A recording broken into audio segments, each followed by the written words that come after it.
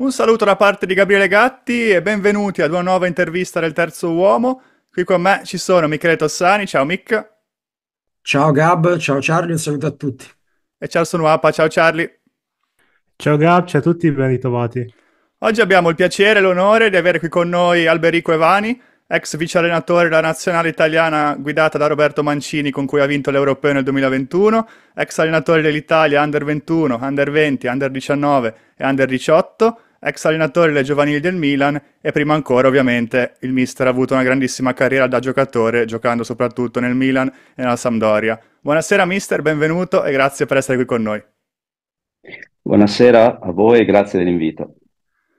Allora, spesso le nazionali non hanno uno stile di gioco particolarmente riconoscibile, ovviamente per via della mancanza di tempo per implementarlo.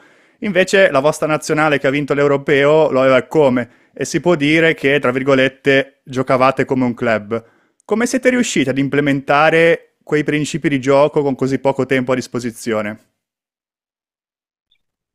Beh, come detto, fare l'allenatore nazionale è molto complicato proprio perché per la mancanza di tempo. E allora proprio per questo problema devi scegliere dei giocatori già funzionali al, alla tua idea di gioco e soprattutto eh, scegliere coloro che, che anche come personalità, come comportamenti, come atteggiamento e come attaccamento a, a riconosce questi, questi valori.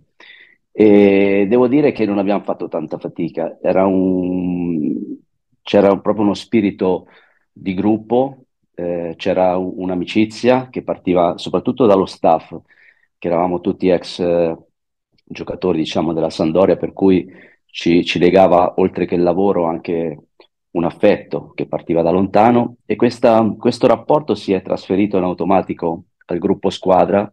C'era una gara a chi dava di più e questa unione ha fatto sì che, che che diventassimo i migliori, ma non eravamo i più bravi. Lo siamo diventati proprio per questo spirito che c'era all'interno del gruppo.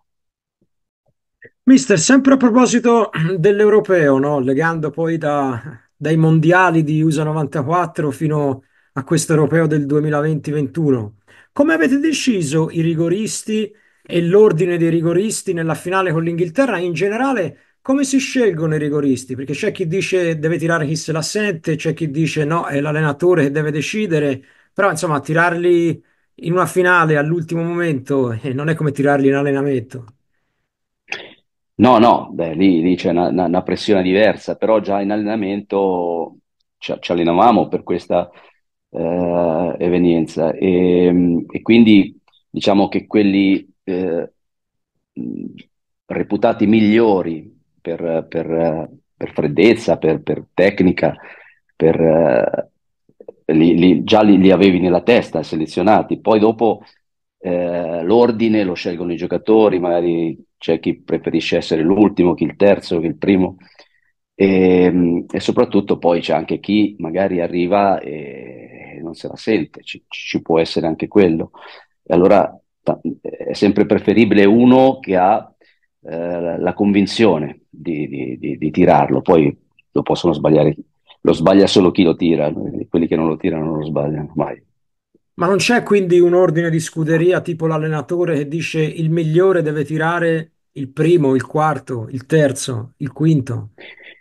Sì, sì, viene, viene già pensata prima una cosa del genere, però poi nel momento puoi aver fatto delle sostituzioni, puoi arrivare a, a, alla fine che che quelli che te pensavi che potessero essere eh, eh, i rigoristi magari non, non, sono in campo, chi si è infortunato, quindi devi, devi per forza di cose eh, chiedere a, ai, ai, tuoi giocatori la, chi, chi, se la sente. Ecco.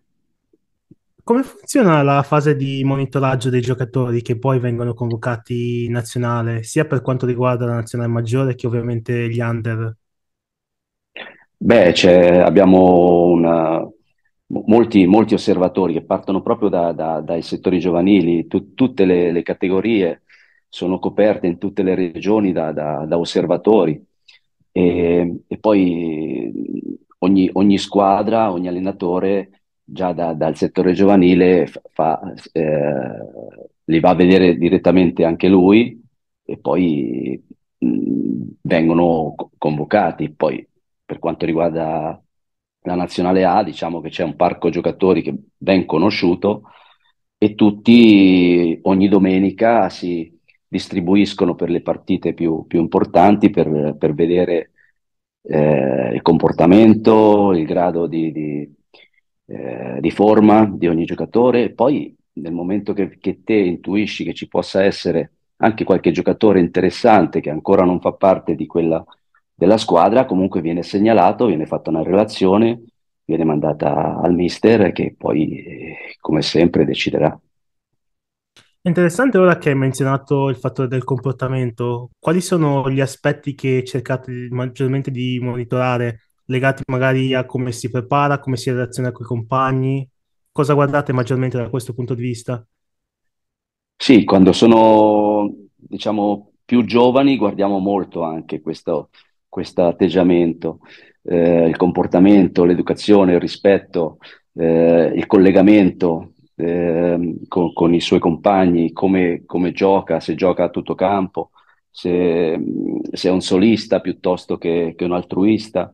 Sono tutte cose che, che vengono comunque valutate. Noi abbiamo, avevamo un, uh, si chiamava il TIPS, uh, tecnica, intelligenza calcistica è molto importante, personalità, sprint e poi la struttura fisica. Questi cinque diciamo, componenti devono essere più che sufficienti per poterlo collocare ad essere un giocatore internazionale.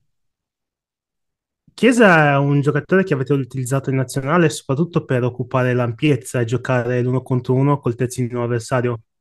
Però a volte l'abbiamo visto agire anche più centralmente nel mezzo spazio. Secondo te dov'è che dà il meglio di sé? Ma personalmente io l'ho avuto anche nell'Under 20, credo che lui abbia eh, dia il meglio quando è mh, posizionato su, sulla fascia dove può eh, sprigionare e alla riga come, tra virgolette, amica, eh, per cui mh, riesce ad attaccare sia, sia eh, diciamo, linearmente che, che, che tagliando verso il campo. Noi sfruttavamo molto lui sull'ampiezza perché poi avevamo dall'altra parte Insigne che invece veniva a giocare tra le linee per poter lasciare diciamo, la fascia al terzino che, che si alzava, mentre eh, Chiesa eh, doveva stare molto largo anche per un, un eventuale cambio gioco per poter andare sull'uno contro uno. Secondo te gioca meglio largo a destra o a sinistra? E, credo che quello non sia un problema, eh, perché comunque calcia bene con, con, tutti e due i piedi, per cui può, può comunque accentrarsi e andare al tiro.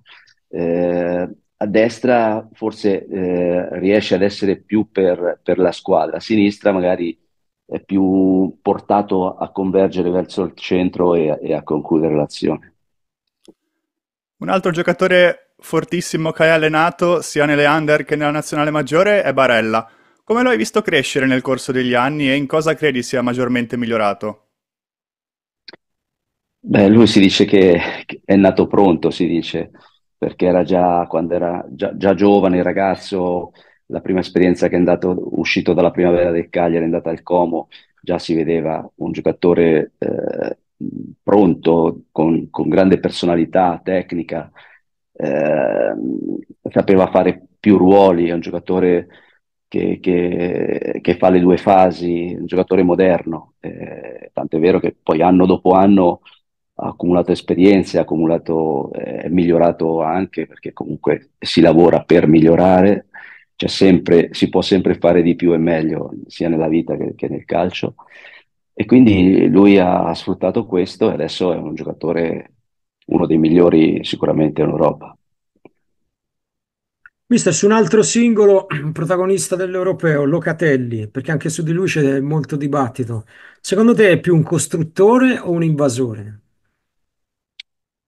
Ma eh, secondo me, da, da come lo, lo utilizzano un po' tutti, da come è stato utilizzato sempre, è più, diciamo, un, un costruttore, uno che gli piace andare a prendere la palla anche tra i due centrali, a costruire l'azione da, da, dal basso.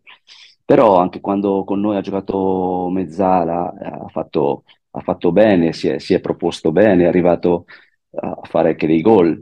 per cui ha anche dei tempi di inserimento. È un giocatore che, che magari ha meno diciamo, potenza nelle gambe rispetto a Barella, ha un, una cilindrata inferiore. Ecco. Sempre a questo proposito, gli spazi da attaccare erano preordinati oppure lasciavate a lui l'interpretazione di capire dove doveva buttarsi? No, noi avevamo un- una mezzala, diciamo, di, di- di, eh, di costruzione ed una, ed una di invasione, per cui sapevamo dove dover attaccare, e quindi chi era mh, eh, predisposto doveva trovarsi tra le linee, andare eh, ne- ne- negli interspazi tra, tra il centrocampo e la difesa, Insigne e, e una mezzala erano quelli eh, che dovevano attaccare quelle- quegli spazi per poi buttarsi dentro. Passando all'uso dei, dei dati, cosa ne pensi dell'uso dei dati e delle statistiche per analizzare le prestazioni della tua squadra e degli avversari? Beh, è un vantaggio, un vantaggio nel senso che, che conoscere sempre eh, come giocano, le, le caratteristiche dei giocatori, vedere i loro punti di forza, vedere magari i loro mh, punti deboli, trovare le contromisure, eh, studiare le contromisure per, per limitare dove loro sono bravi e magari sfruttare invece dove sono, sono più carenti. Questo e comunque serve anche per vedere la tua squadra poi se, se ha fatto le cose nel, nel modo migliore per poterle farle vedere ai giocatori e, e magari cercare di, di- di- di- non ripetere certe- certi errori eventuali. Ah, Quali dati guardavate di più? No, per quanto riguarda noi, anche, anche quanto eh, i, i dati della partita, ci interessava l'indice di pericolosità, non tanto il possesso della palla, perché poi fino a se stesso non, non serve a nulla, però noi avevamo delle- delle- quasi sempre, quando arrivi al tiro, che hai delle, delle azioni pericolose, che, che riesci a imporre il gioco, la partita, sei padrone del campo e del gioco, questo è fondamentale. E questi dati se tiri in porta parecchie volte eh, è importante e soprattutto che non concedi poi grandi occasioni all'avversario. In quei report di cui parlavi prima che stilano gli osservatori per poi far decidere i convocati al mister, ci sono anche tanti dati e statistiche? No, no, quello viene fatta una relazione, eh, diciamo, su- sul- sulla, sulla partita, no, non tanto su, su quanto corre o sui dati, magari quello è più un, un discorso di, di- tra preparatori, si fanno mandare de- de- delle schede, ecco. Questi dati poi, quando magari fate o facevate, anzi, le riunioni con la squadra, venivano anche un po' trasmessi comunque ai giocatori per far capire che il modo in cui stavano giocando alla fine stava funzionando, magari una situazione, penso per esempio a tante amichevoli o tante partite di qualificazione dove magari il punteggio era un po' in bilico, però comunque l'Italia era padrona della partita. Facevate anche un po' in modo di trasmettere questi messaggi quasi a spronare, insomma, i ragazzi a continuare a battere sul percorso tattico su cui stavate lavorando, insistendo in quella partita, magari. Sì, sì, perché comunque anche se tu non arrivi, a volte succede che tu sei padrone de- della partita, hai la possibilità di vincerla, ma purtroppo il pallone rotonda e tante volte non ci riesci. Però far vedere questi dati, che il gioco è stato positivo, che le occasioni sono state tante. È chiaro, ci sono stati degli errori, perché se, se non fai gol, eh, gli errori ci saranno stati, però eh, convincere che quella era la strada giusta per, per poter proseguire e, e loro oh, si erano convinti che quella era la strada e quindi, come ho detto prima, eh, ci, ci davano dentro e si impegnavano sempre di più. Qualche mese dopo il successo dell'Europeo, purtroppo è arrivata la mancata qualificazione al mondiale. Si è detto tanto, si è detto di tutto. Immagino avrete fatto le vostre valutazioni come staff, avrai fatto le tue valutazioni come allenatore. Secondo te cosa è andato storto in quel periodo? Che dopo, come qualche volta può succedere, che dopo una vittoria così importante magari c'è un, un momento di, di rilassamento e quella, quella forza che ho detto prima, quella forza di, di- di unione, di spirito di sacrificio, è venuta, è venuta meno. E quando viene meno quella, può succedere, come, come è successo a noi, che viene meno anche la fortuna, perché eh, ricordiamoci che, che, mh, abbiamo fatto un bel europeo, comunque un pochino di fortuna abbiamo avuto perché altrimenti non, non- non lo vincevi con semifinale e finale ai rigori. Questi rigori che poi per le qualificazioni mondiali invece ci hanno chiesto indietro eh, più, più del dovuto perché ne abbiamo sbagliati due con la Svizzera eh, in due partite diverse e non ci hanno permesso di qualificarci. Però eh, credo che, che la fortuna uno se, se la, se la- se la vada a, a conquistare. Ecco, noi lì avevamo, non eravamo più gli stessi, probabilmente, e qualcosa abbiamo sbagliato. Ti faccio una domanda un po' strana. Quando alleni una nazionale giovanile, qual è l'obiettivo? Cioè, far crescere i giovani giocatori, vincere i tornei, un mix eh, di queste due cose? Ma guarda, eh, prima nel- nell'introduzione hai detto più o meno la mia breve carriera da, da- da allenatore. Ehm, quindi eh, hai visto che la maggior parte degli anni l'ho fatti co- co- con i giovani, col settore giovanile. Io ho sempre allenato per cercare di, di far crescere i giocatori. Non l'ho mai fatto, non ho mai utilizzato un giocatore per apparire bravo io. Ho sempre cercato di, di aiutarli nella loro crescita, sia tecnica, tattica, ma anche proprio l'atteggiamento di come si vive in un gruppo. Eh, e quindi quando poi, per fortuna, qualcuno di quelli che ho allenato è arrivato anche in, eh, in Serie A, in nazionale, qualcuno eh, l'ho l'ho ritrovato anche in nazionale, è stato come se, se ci, ci arrivassi io per la seconda volta Sì. eh, in, in Serie A o in nazionale. Ecco, questa è una soddisfazione per, per un allenatore che, che lavora in un settore giovanile. È quasi una, una missione per uno che fa, che fa settore giovanile. Per cui mh, la risposta è questa. Eh, anche quando ho fatto... le- È chiaro che il risultato conta molto perché comunque ti dà voglia di, di- di- di- lavorare ancora, ancora di più, ancora meglio. Eh, però è importante essere d'aiuto a loro per, per farli diventare poi un domani, non tutti, perché purtroppo non potranno diventarlo tutti, però chi ha talento aiutarlo a, a tirarlo fuori. Tu hai partecipato a grandi eventi con la nazionale da giocatore e da allenatore. Ti volevo chiedere quanto è importante il contributo delle riserve nel tenere alto anche lo spirito di gruppo. C'è qualche giocatore che ti ha colpito in questo di cui magari ci puoi parlare? Ma io non le chiamerei riserve perché sono tutti, tutti importanti in, in una, in una squadra, perché per vari motivi, perché uno è fuori forma, perché uno si fa male, comunque tu devi, devi per forza andare a, a- a far giocare qualcun altro e, e tu li devi trattare bene perché avrai sicuramente bisogno, bisogno di loro. Ehm, è importante che loro, anche eh, chiunque, non piace a nessuno stare fuori, però anche quando sono fuori giu- è giusto essere arrabbiati, ma mai andare sopra le righe oppure contestare eh, quelle che sono delle scelte, perché l'allenatore purtroppo deve fare delle scelte, ma, ma più di, perché più di 11 non ne, fa- non ne- non ne può far giocare, perché sicuramente quando li allena eh, dispia- per noi era un dispiacere lasciare fuori qualcuno, addirittura facevamo, ve lo assicuro, delle riunioni la sera perché dovevamo lasciare fuori dalla panchina qualcuno.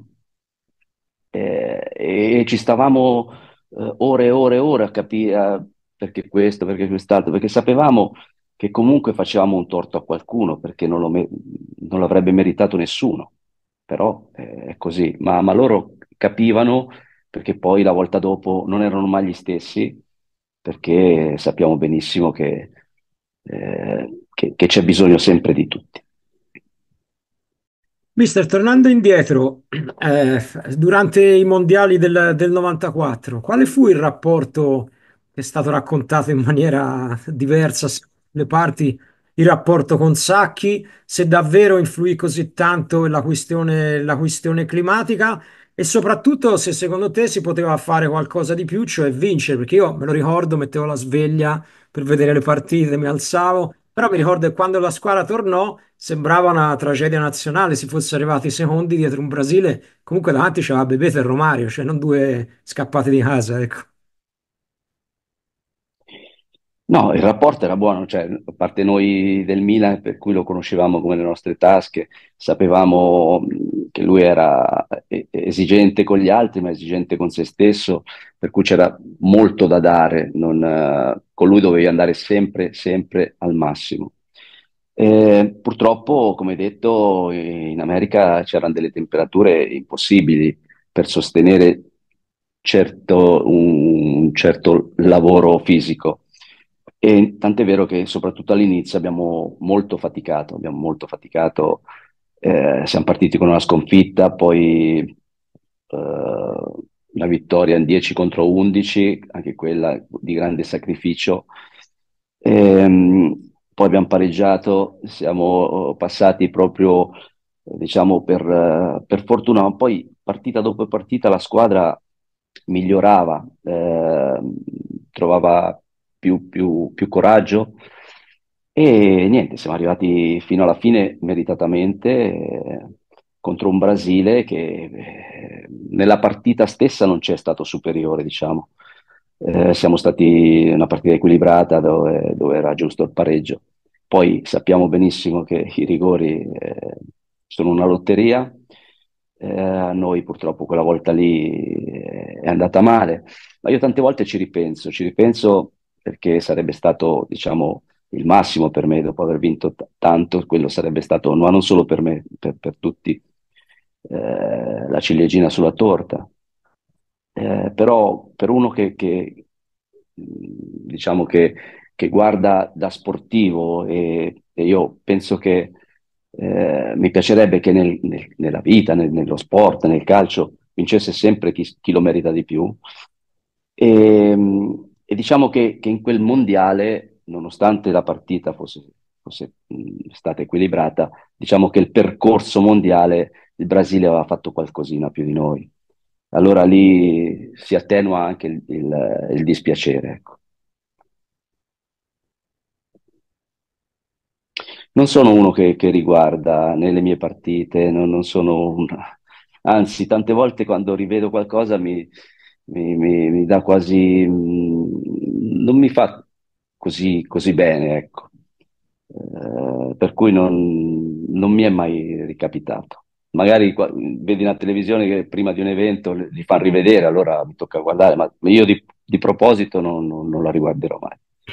Senti, mister, però, visto appunto che me la ricordo abbastanza, abbastanza bene, ero, ero ragazzo, una domanda te la devo fare. Ma quando Baggio uscì contro la Norvegia, e poi ebbe ragione Sacchi, io sono un sacchiano, ebbe ragione Sacchi, che poi la partita si vinse, ma eh, lì davvero si ruppe qualcosa nel rapporto con Sacchi? Cioè, poi disse qualcosa nello spogliatoio, continuò a lamentarsi che era stato sostituito, oppure finì tutto lì?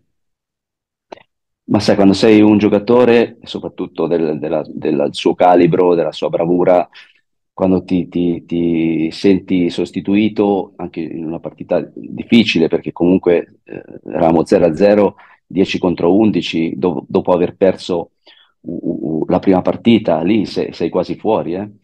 Un allenatore deve fare delle scelte. Io credo che, che poi l'abbia capito anche, anche Roberto nel tempo, perché comunque sarebbe stata una partita troppo di sacrificio per un giocatore di qualità com- come, come era lui. Serviva più qualcuno più, più battagliero, tra virgolette. Eh, ma no- non è una scelta eh, tecnica perché eh, di, di Roberto non, non- non si discute nulla. E credo che poi eh, lì per lì mh, ci è rimasto malissimo, chiaramente, ma, ma poi l'abbia capito anche lui, che forse ha fatto, ha fatto la scelta giusta, ma al di là del risultato che poi è stato positivo. Veniamo ad una delle grandissime vittorie della tua carriera, cioè la Coppa Intercontinentale del 1990, giocatasi a Tokyo e vinta dal Milan contro l'Atletico Nacional de Medellín con una tua rete. Ci racconti un po' quella partita, l'emozione di segnare quel gol? Sì, beh, anche lì una partita molto tattica, du- due strateghi del- della, della panchina, molto, una, eh, squadre molto corte, spazi ristretti, una partita nervosa, poco, po- be- poco bella, ecco, diciamolo, però per, per, gli studiosi di calcio forse c'era qualche spunto da, da, da andare a prendere perché si, si scontravano due, eh, due talenti della, de, de, della, panchina e poi c'erano in campo parecchi giocatori di, di grande qualità. E niente, partita anche lì molto, molto equilibrata, molto nervosa, poche, poche, occasioni sia da una parte che dall'altra.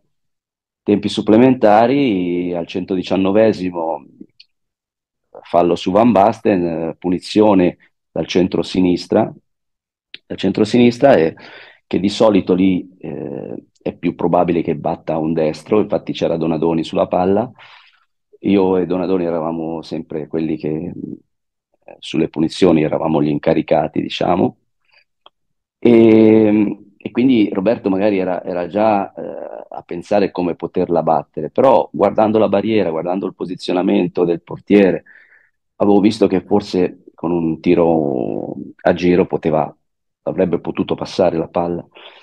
E, e niente, ho, ho, ho anticipato soprattutto prima del portiere ho anticipato Donadoni, perché se gli avessi chiesto Robby batto io non me l'avrebbe fatta tirare. E allora anticipando lui ho anticipato anche il portiere e quindi l'ho, l'ho, l'ho colto impreparato e per fortuna è andata bene perché altrimenti le parolacce le avrei prese tutte da Roberto. Senti, mister Ola, di Sacchi un po' hai, hai già parlato. Volevo chiederti due cose sempre sulla tua carriera da, da giocatore e anche da allenatore. Allora, primo, se ti fa un po' sorridere il fatto che ora, vedendo tipo l'Aston Villa, il Barcellona, che fanno questa linea altissima, fuorigioco altissimo, quando voi lo facevate, anche se le regole erano diverse, le regole erano diverse, però questo fuorigioco esasperato già lo facevate col, col Milan di Sacchi, cioè, quindi le cose si rinnovano, ma non si butta mai via nulla. E poi, visto che purtroppo è scomparso da poco, se ci dai un ricordo della tua esperienza con, con Ericsson. Sì, sì, ho visto il Barcellona eh, fa una linea veramente molto anche rischiosa perché, come detto, le regole sono cambiate, adesso basta poco per andare, ti vanno in porta. Eh, ai nostri tempi invece era sufficiente mettere in fuorigioco uno o due, due giocatori eh, e quindi il gioco era, era, era fatto. Qui è molto più complicato, però hanno molto coraggio, si vede che ci lavorano tanto perché sono molto sincronizzati, molto ordinati e, ed è bello anche eh, vederlo, comunque è spettacolare vedere queste, queste linee difensive senza, senza paura venire, venire su. Ehm, invece Mister, Mister Ericsson, è un dispiacere che, che ci abbia lasciato eh, proprio qualche mese fa, prima della, che lui morisse, avevamo fatto un, un bel evento a Genova, la Sandoria gli ha dedicato una giornata, era il minimo che potesse fare perché veramente al di là dell'allenatore che è stato anche lui uno dei primi innovatori a portare delle idee, eh, era veramente un signore, eh, un giocatore con lui era stava, stava benissimo, un rispetto, una, un, da, da, da, veramente da, da lord. Eh, al di là de, de, della bravura come, come tecnico, eh, mi dispiace proprio che se ne sia dato una grande persona e, e questo sport eh, ne, ne avrebbe avuto tanto bisogno di queste figure. Senti, tornando invece ad altre, ad altre cose eh, più leggere, eh, una curiosità, com'era giocare nel, nel Milan dei tre olandesi e con i tre olandesi. Peraltro per me personalmente il più forte è sempre rimasto Gullit, più di Van Basten, però un parere personale. Ma sai, si parla di tre olandesi, però poi eh, se andiamo a vedere il primo anno, quando era arrivato eh, Gullit e Van Basten, praticamente Van Basten ha saltato quasi tutta la stagione. E, per cui c'era solo Gullit con 10 italiani più, più, tutto il resto, perché comunque ci si alternava. E, però io credo che la forza sia stato il gioco. Eh, il gioco che eh, Mister Sacchi è riuscito con difficoltà iniziale, ma poi quando l'abbiamo appreso, abbiamo cominciato a giocare, non dico a memoria, ma comunque eh, abbastanza eh, sincronizzati, ha permesso a tutti noi di, di migliorare le, le, caratteristiche. Sembravamo tutti, tutti più bravi, perché era il gioco che, che esaltava le nostre caratteristiche. E, ehm, l'anno dopo è arrivato anche Frank, eh, Rijkaard, e però si è fatto male Gullit. E, ehm, e Frank ha dato quella, quella forza, quella, era partito difensore centrale per poi dopo diventare centrocampista e ha portato esperienza, qualità. Eh, e una diga lui e Carletto davanti alla difesa erano difficili da superare. Faccio una domanda di attualità tattica legato anche al modo di difendere oggi in Serie A. Spesso vediamo squadre che adottano questa pressione uomo contro uomo a tutto campo, mi vengono in mente Gasperini, Italiano e Juric, vediamo anche altri allenatori che lo fanno magari in maniera un po' più attuata in base anche alla situazione della partita, penso a Tiago Motta, Inzaghi, Conte per esempio contro l'Inter eh, domenica, ci sono meno allenatori che fanno magari una difesa più a zona pura come Sacchi, forse Fonseca solo in questo momento in Serie A, a breve tornerà anche Giampaolo che è stato uno degli allenatori che più ha diffuso questo modo di difendere. Secondo te perché è così in ascesa la marcatura uomo a tutto campo? Eh no, più che la marcatura, sì, tu hai detto Gasperini, Juric fanno, fanno questo, tante, non hanno neanche codificato certe scalate, loro il più vicino va su, sempre, sempre, in pressione su, su, sul portatore di palla. Ehm, mentre noi, per dire, anche, anche, noi facciamo pressing, era un pressing più, più, organizzato che a seconda della zona ci andava il giocatore eh, responsabile di quella zona. Qui invece si vede che, che, non so, il terzino destro magari te lo trovi a sinistra perché eh, corre dietro all'avversario e non, non, lo molla per, per un po'. Però comunque è un calcio sempre più internazionale, anche perché se, se non lo fai lo subisci e quando lo subisci va, vai in, in difficoltà. E per cui non è un caso che l'Atalanta quando riesce, a, quando sta bene, eh, è, è, difficile giocargli, giocargli, contro perché veramente ti, ti, ti, ti vengono addosso in qualsiasi momento. Mister, ti faccio l'ultima domanda. Eh, la tua prossima squadra che principi avrà? Cioè, tu preferiresti avere una squadra eh, che pressa sull'uomo, che è orientata sulla palla, o in attacco attacca posizionalmente, oppure cercherà più la relazione fra i giocatori? Cioè, qual è ad oggi il tuo pensiero calcistico?